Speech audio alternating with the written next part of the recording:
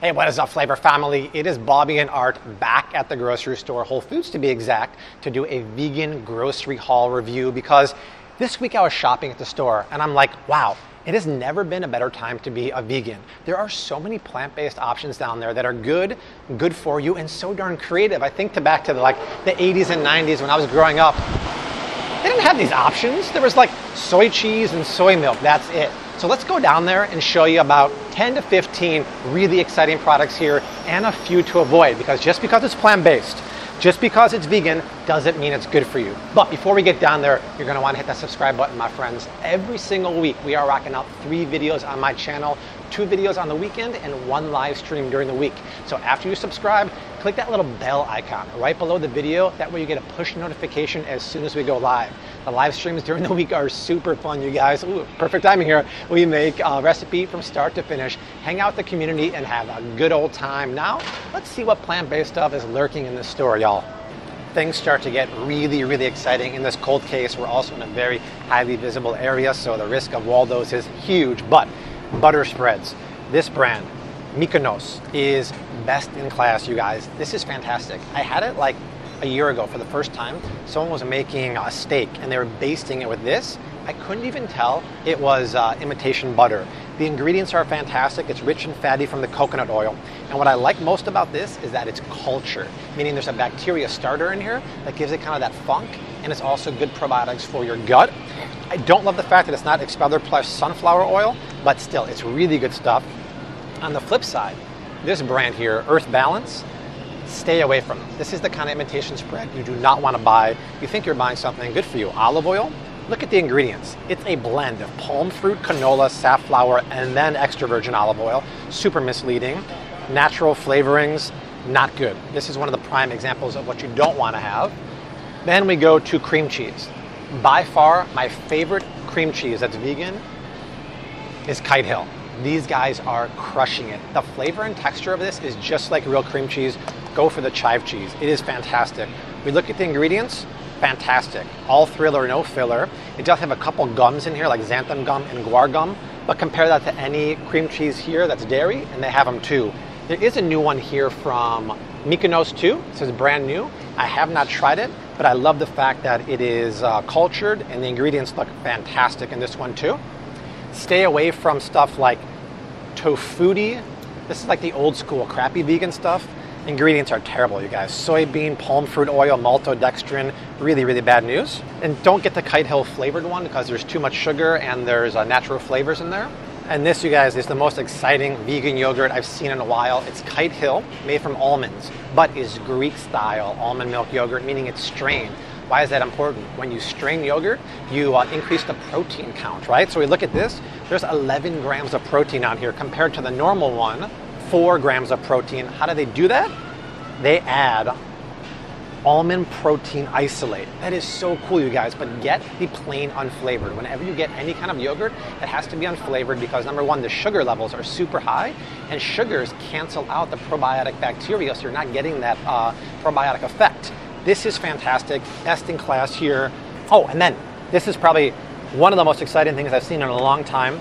It's a new brand of yogurt called Lavva. It's 100% plant based, and it's the only one I've ever seen that has flavors without adding additional sugar or natural flavors. How do they do it? They actually put the fruit in there. Oh my God, they're actually using raspberries. That's a first. They have ingredients like plantains, pili nuts, coconut cream. This is the best in class flavored vegan yogurt I've ever seen. Very, very exciting half options happening here in the dairy case. Let's take a quick break from the video and thank today's sponsor, Drop. You guys, Drop is a completely free rewards app that lets you earn points for shopping at the stores you shop at every single day, like Whole Foods, like Trader Joe's, heck, even Uber. Once you earn those points, they uh, convert into rewards that you can uh, cash in for uh, gift cards. These gift cards can be used for a ton of places like Amazon, like Starbucks. So all the shopping I'm doing today at Whole Foods are earning me points I can use for gift cards. And you don't just earn points for in-store shopping, you earn points for online shopping too.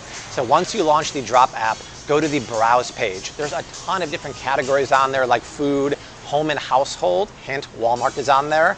You launch shop through the app you shop and you earn major points. For example, I'm looking at some new Apple accessories lately. There's a bonus there for 20 points for every dollar spent. You can earn major points, man. Every 5,000 points convert to $5. Plus, Instacart is on the app. So if you do your online shopping, you might as well do it through the Drop app and earn some major bonus points. And here's the best part. Drop says to me, Yo, Bobby, do you want to give away some gift cards to your fans? How about 50 gift cards? Yes, 50, ranging from 5 to $25. And I'm like, Heck yeah, I do. So all you have to do is download the Drop app using my link in the description box or download the app and use my promo code is right here and link your credit card. Don't worry, the linking of your credit card is completely safe. They use the Plaid network. That's how they track all your purchases so you can earn the points. So guys, sign up. Major props to Drop for uh, sponsoring the video. Check them out. Getting a lot of requests on Instagram for Mary's Gone crackers, which I didn't really see until this week. And wow, wow, wee wow, you guys. The ingredients here are next level. Wow, look at this all whole grains, which is really important because whole grains uh, satiate your hunger. They don't spike your blood sugar. Very, very good, much better than enriched wheat or stripped grains. Brown rice, quinoa, pumpkin seeds, sunflower seeds, not even using any kind of oil in here. I mean, that's amazing. Isn't it amazing? I mean, look at that. Um, any one of these flavors here is fantastic, except I would not get the real thin crackers because Mary is using my least favorite oil ever, palm fruit shortening. So palm fruit is palm oil. To make it into shortening, you kind of like uh, turn it into like Crisco or you uh, hydrogenate it. Very, very bad. You know what bothers me about them also? They use organic sunflower oil, but it doesn't say that it's expeller pressed. So even though it's organic, it could be highly processed. Ah. Yeah, that kind of bothers me. Have you tried Mary's? See, it's confusing. Once you fall down that rabbit hole of reading ingredients, it's a deep, deep hole. But ask yourself this can you get palm oil in the grocery store to cook with it at home? No. So why do they keep using it here at the grocery store? Cheap, you guys. It's a cheap oil. And even if it's responsibly farmed, it's still not good for you, right? So avoid that. Um, and then I mentioned to her Simple Mills. What of the best in class vegan and uh, gluten free crackers? But they're using organic sunflower oil. Just because it's organic doesn't mean it's not expeller pressed. Uh, we want it to be expeller pressed. So I got to find out what the deal is with that. Um, and then this is very popular, these cauliflower crackers. Um, and I like that they're using cauliflower as the number one ingredient, but they're using responsibly sourced palm oil. Doesn't matter, it's still bad for you. Just means it's better for the environment and they're using maltodextrin, which is a food preservative, once again, that spikes your blood sugar. So I don't like that. I would stick with Mary's Gone Cracker. She is the best in class, and that is super, super impressive. We can't leave this aisle without doing vegan mac and cheese. I just saw a super exciting product. These guys are crushing you guys. Upton, they make the uh, jackfruit in their refrigerator case. They also make the best in class mac and cheese. Look at the ingredient list. It's so small. This is the way food should be. They've used nutritional yeast, aka vegan parmesan rice bran oil. That's a really high quality uh, oil, much better than canola oil, expeller pressed oil. Very, very cool. Uh, mustard powder, turmeric. This is amazing, you guys. And just to compare it to Annie's vegan mac and cheese here, first off, way longer ingredients, and they start putting a bunch of nasties in here, right? They're using the maltodextrin, food preservative, spikes our blood sugar. And they're using sunflower oil. Is it expeller pressed? Niet, it is not. Uh, they have natural flavorings in here. So not nearly as good here. I will say the Daiya, I will say the Daiya is slightly better here, um, but it does have the vegan natural flavoring, so they're specifying that. But why even bother with all that filler when you have all the thriller you're in here uh, with Upton? That's amazing. I love some of the vegan names for products, and I do love this one right here called Lesser Evil. That's a good name, you gotta admit it, right? And they make the uh, popcorn here that I knew about, but now I'm seeing they have paleo puffs, and they have the no cheese cheese puffs here. And they start off with good ingredients, but then it gets a little sketchy in my book because it has uh, yeast extract, which is another word for MSG. It's a chemically made uh, flavor enhancer. And then it also has uh, organic flavor. What is organic flavor? I'm guessing it's natural flavorings, but I would stick with the plain paleo puffs. We look at the ingredients, much cleaner. And you know what? I'm gonna buy this anyway. I've been dying to know what this tastes like. Mmm, you can taste the coconut oil. That's delicious. Much cleaner ingredients. Wow, these are really good. I would crush these for sure. And the same is true. Wow, these are really good for the popcorn. Stick with the basic. And these are really good. My God. Right, you're gonna like that stick with the basic popcorn here. It's, it's cooked in extra virgin coconut oil. It's organic, GMO, free popcorn. The problem is when you start going to the cheese one again, we have the organic flavor and the uh, chemically made yeast extract. But stick with the plain flavored lesser evil, and man, you'll be lucky if I share these. These are good. My God. Mm. Super exciting product here for non-dairy creamers. Malk, the company that makes almond milk, has a new product out, almond milk creamer, but it's almond and oat. The ingredients are ridiculous, you guys. This is maple and pecan. Well, they get that flavor in there with natural flavorings, right? Heck no! Organic pecans, organic maple syrup, organic coconut sugar. The vanilla one does have natural vanilla flavorings, say derived from vanilla bean, but my gosh, this is best in class because it's not watered down with tons of emulsifiers. It's just the uh, oats and the almonds, which is really, really cool. If you want another good dairy-free vegan creamer, I would go for Nut Pods but get the original one because the flavored ones have uh, natural flavorings. But this is great because coconut cream makes it nice and thick, but that is fantastic. That milk is best in class, you guys. Here's a product that in my mind, I'm like, this is just wrong. It's vegan eggs in a container, you scramble, but I actually tried them and they're very good, and the ingredients are quite impressive. They're using mung bean protein isolate, that's a very high quality protein source, expeller pressed canola oil. Uh, they do have natural flavors, with buns me out, but it's such like a next level product. I mean, vegan eggs that are scrambled like this, that I'm okay with it for this case. Um, does have a few weird ingredients you might be kind of freaked out about. Uh, transglut, uh, how do you pronounce it again, Art? Transglutaminase. Thank you. Transglutaminase. That's uh, actually glue. Usually comes from meat glue, but could also come from plant form, so that's fine. And then tetrasodium uh, pyrophosphate is a preservative. You want to be careful not to get too many phosphates in your body because it could hurt you if you have colitis or uh, kidney issues and it can lead to heart disease. But this is actually Bobby approved because it's so innovative and it's actually not nearly as kind of loaded with bad ingredients as I thought. This is super, super exciting, you guys. Vegan probiotic drinks. We all need to help foster and build our gut bacteria. Our overall health for our body really begins in the gut. And the more sugar you eat, the more acidic foods you eat, you kill your gut bacteria. And considering that we eat, the average American, 19.5 teaspoons of sugar per day, you know what sugar does? Obviously, it increases uh, uh, heart disease and risk of obesity. It also kills your good gut bacteria and promotes the bad ones. Hence, why we need to drink this stuff. And this is fantastic because this is that Forager brand again. It's uh, based in San Francisco, really cool company with cashews. And this is Uh, Califia. We all know that. And this is almond milk based along with coconut cream. The thing is, stay away from the flavored ones. Once you start going to the sweet ones like the blueberry, the strawberry, they have a ton of added sugar. Number one, that adds way too much sugar to your diet. Number two, the sugar cancels the effect of the probiotic bacteria, it kills them. You do not want that. All right, let's talk about sausages. There are some really good options here, starting with field roast. Love the name for that one, right? Roast from the field. Uh, very good quality sausages here, including breakfast sausages. We look at the ingredients. We got expeller pressed oil here, a little bit of yeast extract, not the best. Uh, the breakfast sausage, though, is pretty decent too. The thing is, they have this at Walmart now. Both of these are cheaper at Walmart, so I would get that. But probably even better than that, and a better name, is No Evil. I mean, come on, these names are getting amazing, right? But also amazing are the ingredients on this, you guys. We think of uh, plant based food, especially when you get into sausages and prepared products, as being highly processed, and they usually are. These guys are using really good ingredients, guys. Look at this kidney beans, uh, nutritional yeast, organic thyme, fennel. There's no filler in here. There's no maltodextrin. There's no chemicals.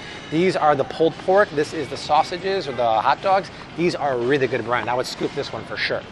Let's talk about uh, deli slices, vegan deli slices. I love that 365 is starting to have more products. They have the cheese here, but they also have these uh, turkey deli slices. And the problem is they do have a few uh, added, added, things here I don't like, like natural flavorings, yeast extract, but they're using carrageenan here. Carrageenan is that seaweed emulsifier. You don't need to put that in here. So for that reason, I'd pass. Um, Tofurky is not my favorite because they use soy, but they do have this at, at uh, Walmart for a better price. I would go to, the, once again, the field roast. You look at the ingredients for this flavor, really clean, expeller pressed sunflower oil, mushrooms, barley. Um, this is the way to go. One of the other ones did have uh, not the cleanest ingredients, but the wild mushroom one is really good. I'm trying to hide from the butchers here. Uh, mayonnaise or veganese is very, very interesting. You can't go wrong with the old school follow your heart veganese because if you look at the ingredients, it's expeller pressed canola oil, which is not highly processed. Uh, they do have soy in here, which I don't like, which is why I highly recommend going for the follow your heart soy free veganese. It's without soy, but it still uses the expeller pressed uh, high oleic safflower oil. High oleic is slightly heart healthier, but we can do better. If we come over here, let me grab the Sir Kensington Fabanaise here. It's made with avocado oil.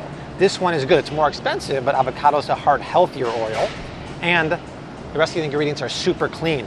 But stay away from the Sir Kensington Basic Fabanaise because we look at the ingredients and it uses uh, sunflower oil. It's not expeller pressed sunflower oil, it's highly refined sunflower oil. So stay away from that. There is one also from Chosen Food that is really, really good. They keep it over on the aisle over there with avocado oil. And then we look at cheeses here, right? Keep in mind that all of these uh, plant based cheeses are gonna have uh, natural flavoring. It's something I discovered doing research. Um, the thing is, some will be trickiest area we've ever shot in. But at least this brand right here, which is my best in class, Violife, says that it's from vegan sources, right? So it's not natural flavors that could come from dairy or from uh, meat. Uh, this is the best. It has the best flavor, the best meltability. It comes in slices too. You can get it in smoked provolone and cheddar. It's fantastic. But if you want best ever ingredients, this brand, once again, the uh, it's not Mykonos, like I said, it's Miyoko's. Miyoko's. Uh, they have mozzarella plant-based cheese. I look at the ingredients, super clean, you guys. This is fantastic. And then there's a brand here that makes uh, a dairy-free spread. It's called Leaf Cuisine. Yeah, you're all good. Don't worry about it. Waldo. Uh, this brand, Leaf Cuisine, they make dairy-free spreads that have amazing ingredients. You look at the back here, organic coconut oil, real ingredients like jalapeno lime, and they're actually adding good bacteria here, more probiotic gut bacteria health. This is fantastic. Um, also, uh, Miyokos makes kind of plant-based brie cheeses here that have amazing ingredients. Expensive, yes, but amazing ingredients. Let's talk about pickles for a second. I would steer away from conventional pickles because why? We look at the ingredients and they're always brined with vinegar. Vinegar is very acidic. That kills your gut bacteria. Once again, we want to foster those gut bacteria. And nowadays, there's naturally fermented pickles, there's naturally fermented cabbage, and this is a very popular brand called Bubbies. They're from Canada, and when you look at the uh, ingredient list, there's no vinegar because it's a natural fermentation that takes longer, which is why they're more expensive, but it's really, really good for you. Also, there's a company called Wild Brine. All these cool companies are from California, guys. It's freaking, freaking crazy. Um, they do make fermented cabbage, uh, sauerkraut, and you can get a great deal on that at Costco. But now they're making fermented probiotic sriracha. And this is so cool because they're using ingredients like kale, uh, tomatillos, kimchi. Super, super cool way to get some flavor, some spice, and some probiotics in your diet, which we all need. Now, we all know about the Beyond Burger, but something you might not know about is one pound Beyond Beef packs. And the reason why this is better, in my opinion, is number one, it's cheaper. It's $10 a pound versus $12 a pound for the patties. And the ingredients are cleaner. This is version 2.0. You still can't find version 2.0 patties everywhere. The ingredients are much better. They got rid of a couple suspect ingredients in the old one, like sunflower oil and maltodextrin. And they also put good ingredients in here, like mung bean protein, and they also did something cocoa butter. They put a cocoa butter in here that ups the beefy factor, and when you see it in the actual patty, it looks like marbled uh, fat. It's super cool. So I would get this and make your own kind of like taco ground beef uh, filling, as opposed to getting this. Beyond Meat sells crumbles like this, but the ingredients are really bad. You guys look it around. You turn it around. You see canola and sunflower oil in here. It's not expeller pressed, so it's highly refined and processed. It has the maltodextrin, so you're much better off buying the packet and making your own burgers, your own crumbles, your own tacos. And then there's something down here I spied. There's a new player in town, the Meatless Farm Co., which is super cool, and it looks like a tub of ground beef. The problem is it's soy based, and I do not like soy, and there's some other nasty ingredients here. So I would stick with the pack of the Beyond Beef. This product is super cool from a really high quality brand. It's vegan chocolate chip cookie dough. Ingredients are next level, you guys. Look at this. They're using almond flour, organic Vermont maple syrup, organic vanilla extract, no natural flavorings. Uh, coconut oil. This is fantastic. Pricey, yes, at $14, but this could be best in class clean ingredients for a dessert that's vegan. Super impressive. This is my favorite vegan ice cream. It's called Cado. Now, keep in mind, you can get it at Walmart for $2 cheaper per pint. You're paying the Whole Foods effect here. Um, they have a new flavor here, salted caramel. My favorite is chocolate. We look at the ingredients, very, very clean. And probably my favorite thing about this ice cream is the low amount of sugar. It only has 13 grams of sugar for half a cup serving. Other ones routinely have 18 to 20 grams. Um, I don't like the fact that they put natural flavorings in the salted caramel, and it's not vegan natural flavoring. But if you stick to chocolate or vanilla, it does not have natural flavoring and it has the avocado meat in here. So really good fatty acids, really good uh, fiber content. This is one of my favorites, but if you want to go sugar free, this is the one you want to get. It's so delicious, uh, sugar free vanilla. They have other flavors too. It does have natural flavorings, which is a bummer, but we're talking about one gram of sugar per serving, which is really, really good. So this is good for uh, no sugar or low sugar, but the avocado is my favorite vegan. We have a couple really good choices here for vegan pizzas. This is new. It's Amy's Vegan Pizza, and this is Sweet Earth. Uh, I think Veg News uh, ranked this one number one for vegan pizzas. There is one thing I want to point out here. Both of these pizzas contain natural flavors, and we did a video last week all about natural flavors. And they're not really natural, right? They start with something natural like, say, corn, and they can add up to 100 chemicals to it and still call it natural. The thing is, you want to look for vegan natural flavors. If it doesn't say that, there could be animal product in here because natural flavors often come from plants animals, and dairy. And unless it says vegan, that means they're not sure. And I think companies like this don't know that because the thing about natural flavors is don't ask the companies what's in there because they don't know. They outsource it to just a number of companies who make these natural flavorings in a lab and they're proprietary. They'll never tell you what's in there. We talk about that in the video from last week, so watch that. So I would always look for vegan natural flavorings. There's a bunch of other products here that have that. My sneaking suspicion is if it doesn't say that, like these pizzas, there is a good chance that it came from animal sources. But besides that, these both are really good.